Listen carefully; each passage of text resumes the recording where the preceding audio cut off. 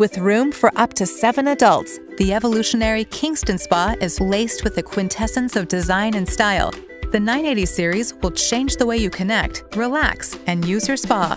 We've developed modern architectural cabinetry with a crisp, rhythmic, geometric texture, LED corner exterior lights, and a low profile for easy entry and exit without reduced soaking depth. A lounge deck and a wide flat top rail offers convenience and additional seating space to foster socialization and style. We've also crafted sun cooler cold storage areas with interior illumination right into the lounge deck for ice and drinks. An advanced iTouch glass control amplifies ease of use and is compatible with the SunSmart app. With a glowing, color touchscreen control and icon-driven menus, programming your spa is even easier any time of day. As you ease into wide seats, the soft, even glow of LED lighting highlight key seats in this 980 series spa to not only look good, but to add safety for your family too. Throughout the Kingston, you can melt away stress and strain in seats that feature popular combinations of our patented Fluidix jets.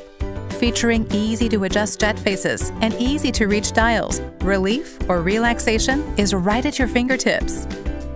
In the upgraded AccuSage therapy seat, your muscles are greeted by deep tissue massage jets that deliver the widest coverage we've ever offered.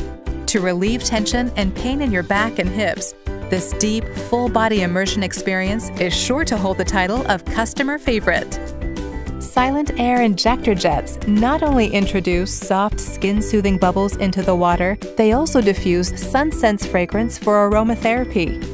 Fatigue fighting jets nestled in a foot dome can be easily reached from virtually any seat in the spa.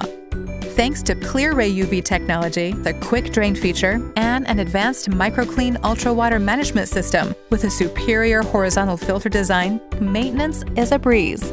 Experience the Kingston Spa for yourself. Visit your nearest Sundance Spas dealer today.